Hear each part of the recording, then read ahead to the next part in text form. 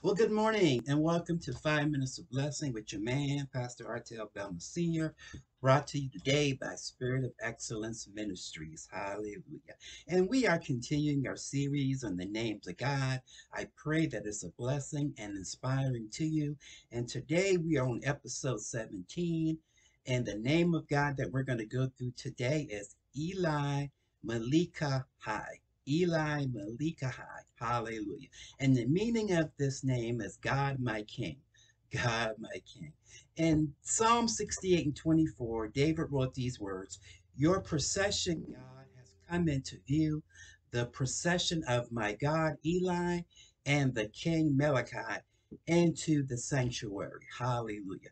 He also wrote in Psalm 68 and 28 Summon your power, God. Show us your strength, our God, as you have done before. Hallelujah. Hallelujah. And what David is referencing in this text is that the God that has blessed David over his enemies, the enemies of Israel, the God that has blessed them throughout many a battle and many a situation, is the God, their king, who they give high praise to.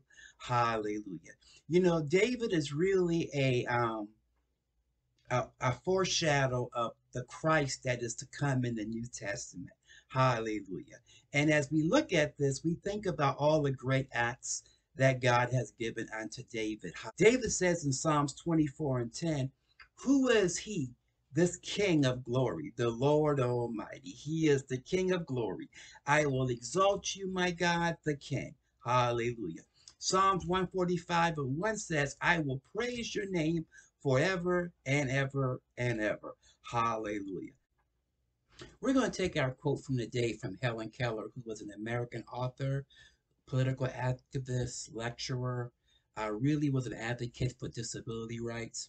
And she said this She said, There is no king who has not had a slave among his ancestors, and no slave who has not had a king among his direction. Hallelujah. I am going to respectfully disagree with Mrs. Keller. Romans 8 and 17 tells us, and the children then heirs, heirs of God, and joint heirs with Christ. If so be that, that we may suffer with him, that we may also be glorified together. Hallelujah. Galatians 3 and 29 tells us, and if you be Christ's, then ye are Abraham's seed and heirs according to the promise. Colossians 4 11 says, And Jesus, which is called Jesus, who, call, who are among the circumcision, these only are my fellow workers into the kingdom of God, which has been a comfort unto me. Hallelujah. Miss Keller is accurate into the concept of kingdomship that our King, hallelujah, has set us free. Our King has adopted us into the family. Our King has made us joint heirs with him. Hallelujah. Hallelujah. Our King says that we are no longer we are no longer slaves but friends. We are no longer slaves, but we are no longer bondsmen either. We have been set free because the word says that he who the Son sets free is free indeed. Hallelujah. He is the King of glory. He is King of kings and Lord of lords. All and every knee shall bow and every tongue shall confess that Jesus Christ is King and Lord. Hallelujah. We get the King, we get the Lord. Hallelujah. And he calls us fellow workers. Hallelujah. The word of God says this that the harvest is plentiful, but the workers are few. Hallelujah. Lord, we just give you praise and we thank you that you've allowed us to choose you and to come into your kingdom where none of us are slaves, where we're no more slaves, but joint heirs with you in Jesus' name.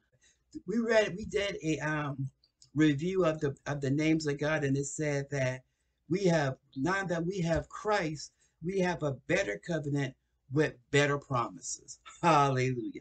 Colossians 4 and 11 tells us, and Jesus, which was called Judas, who are, who are of the circumcision, These only are my fellow workers unto the kingdom of God, which has been comfort unto me. Hallelujah. So, in other words, Jesus doesn't call us slaves. He doesn't call us wretched and done. He calls us fellow workers within the kingdom of God. Hallelujah. Isn't it good to know that we have been chosen as an heir to the kingdom of God? Hallelujah. That we have a virtuous relationship with God and with Jesus Christ. Hey, hey, hey, hey, remember, you are entitled to all the spiritual blessings that comes in the word. Hallelujah. And you have abundance favor no matter what situations you go through. Look, people may be trying to lord over you. People may act like they're the king of you. But hey, remember this. You only have one king, and he's the king of kings, and he's the lord of lords. And he doesn't want slaves.